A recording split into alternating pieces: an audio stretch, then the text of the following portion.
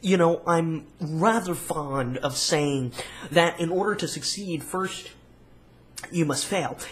It's kind of a bold statement to remind myself that, as bad as it might seem, failure, well, it's just another part of life. And without the failure, you can never really appreciate the success.